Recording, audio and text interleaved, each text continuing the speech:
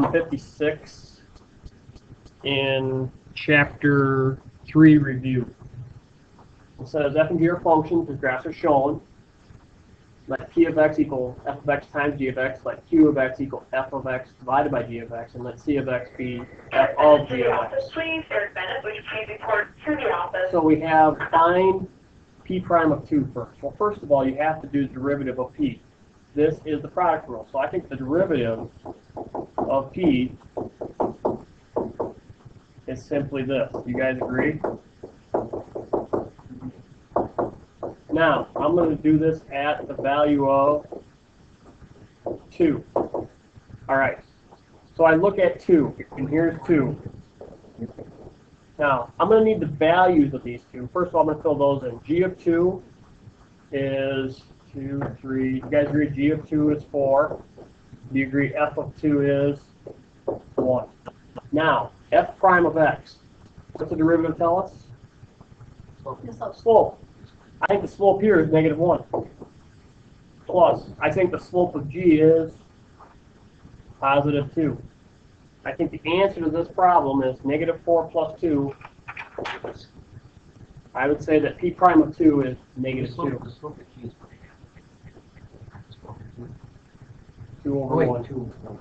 Yep, so the slope is 2. All right, so there's the answer to problem A. Okay, what's problem B using? What's problem B? Um, Quotient rule, right on. P for product. C is for, or P is for product, Q is for quotient. You guys agree to quotient rule?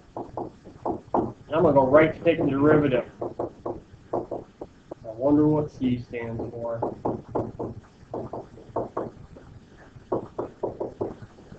All over G of X squared, and they want that at two also, right? So again, I'm, Yep, so again, we know, we know these numbers, so it should go rather quickly. I'll run them down. We have, we have f prime is negative one, we have g of two is four, minus f of two is, t- g prime is two, f of that is one, all over. g of two, quantity squared is four squared, which is sixteen.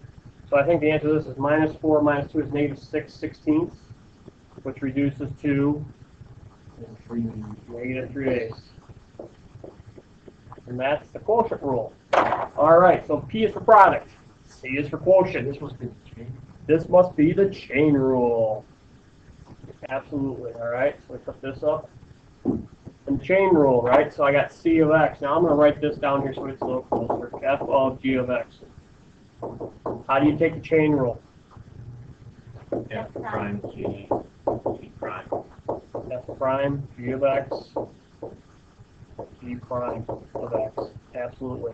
Now it's a little more, I'm gonna actually, this time I'm gonna write it out so that I can keep track of things. This one's not as simple as the other two.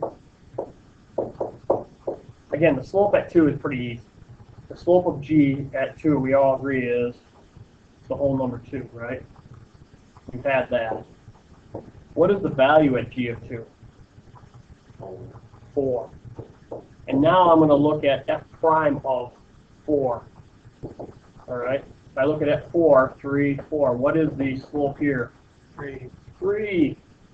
So I get 3 times 2. I think the answer to this one is 6. Again, this is just using our rules in a table. It doesn't matter that we don't know the function name. I suppose you could have tried to figure out the equation with the lines and done the derivative, but that is not the way you want to do this problem.